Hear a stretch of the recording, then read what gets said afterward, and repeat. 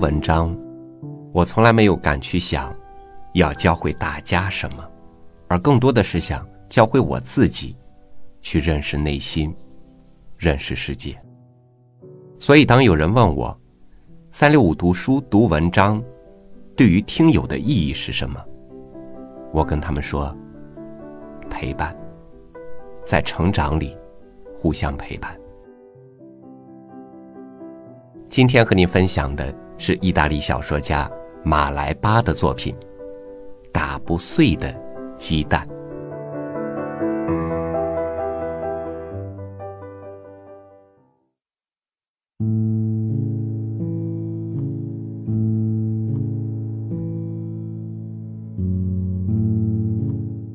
一只帕多瓦种的母鸡，在靠近帕尔马城的一所农庄里出生长大。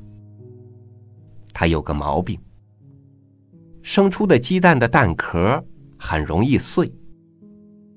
原因在于其他的母鸡都吃小石子和石灰微粒，所以它们生下的鸡蛋壳都结实，而它只吃小麦、高粱和玉米粒，或者吃小虫子。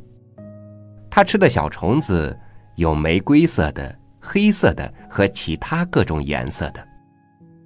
他从来不吃小石子和石灰微粒，因为他消化不了。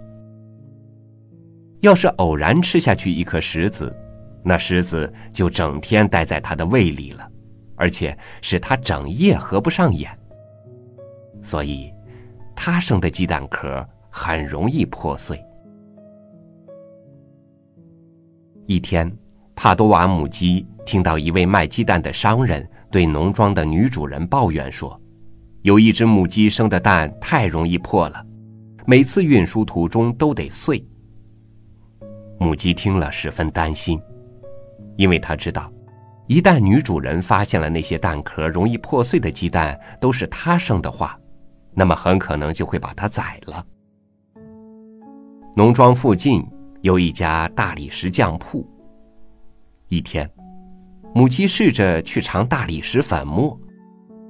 石粉既不好吃也不难吃，但跟小石子和石灰微粒一样难消化。第二天，他生下的鸡蛋蛋壳呈大理石的颜色，外表十分好看，但还是很容易打碎。另有一天，母鸡从石匠铺面前走过时，看到有一桶罐子打开着，上面写有“硬化剂”的字样。但愿这东西没有毒。可怜的母鸡自言自语道：“母鸡在那白色的浆糊状上啄了两三下，原来那是石匠用来粘大理石的粘胶。他随后跑回到鸡舍去，因为要是吃了那东西要死的话，他宁愿死在自己的窝里，也不能死在马路上。”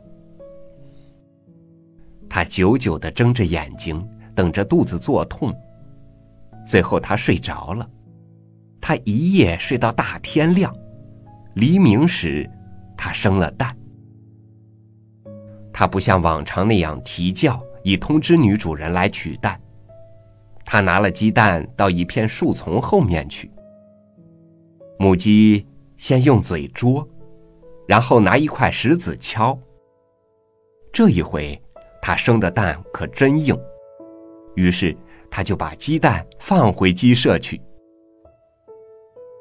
帕多瓦母鸡生下的蛋在运输途中没有破碎，它被放在市场的货摊上，让一位工人的妻子煎鸡蛋吃。女人回到家，把所有鸡蛋都放在碗边，她拿起帕多瓦母鸡生的这个鸡蛋，在碗边一敲。但鸡蛋没有打碎，碗却打碎了。咦，奇怪！女人自言自语。她拿起鸡蛋，在大理石做的桌子角上敲。大理石被敲掉了一角。她拿来了锤子，试着用锤子敲鸡蛋，还是敲不碎。于是，她把那只蛋放在一边。因为她不好意思对丈夫和儿子说，自己连一只鸡蛋也敲不碎。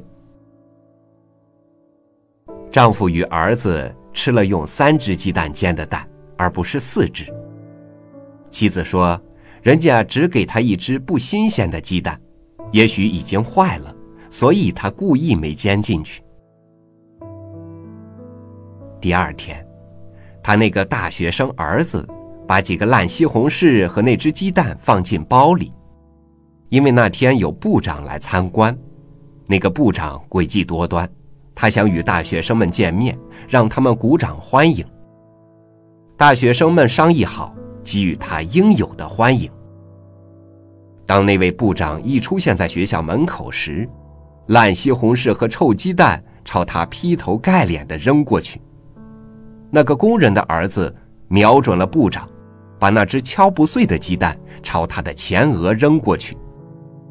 只听见“啪”，像是打过去一块石头似的，部长应声倒地。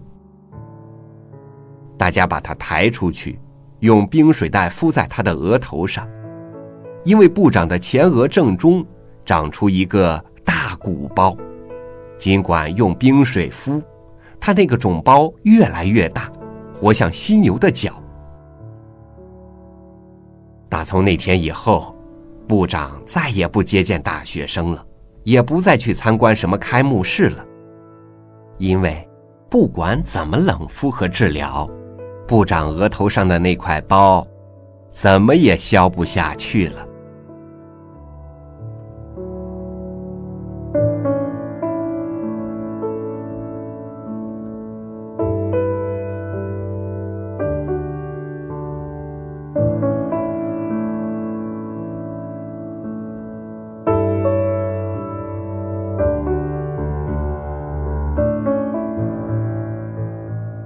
生活里。总有很多的理所当然被一再打破，也有很多的虚无成了坚定的追求。